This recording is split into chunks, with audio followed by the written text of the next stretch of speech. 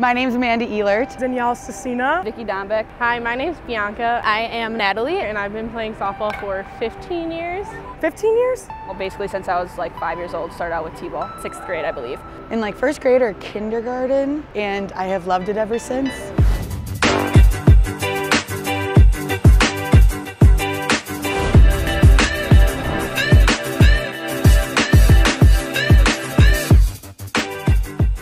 My favorite part of the team, at the club, is the camaraderie.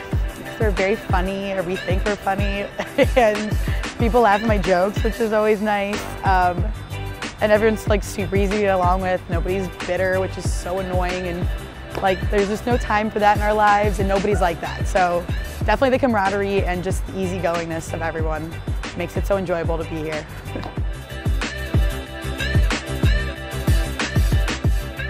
My favorite aspect of the team is probably just how close we all are.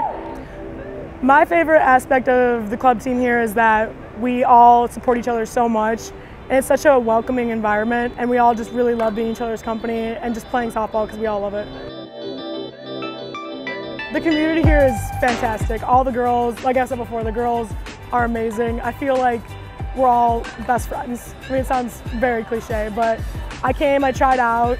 I mean, they all seemed to very welcoming. They all seemed to like each other, and I was like, oh, I want to be a part of that. I want to be on a team again. I've always been on a team, and it felt weird not being on one. Honestly, I think club softball has been one of the most important things of my college career. There was no chance that I was going to give up playing softball. My favorite aspect of the club is the team. So even though like I love the sport itself, um, it's the girls that really like make you want to come back every season.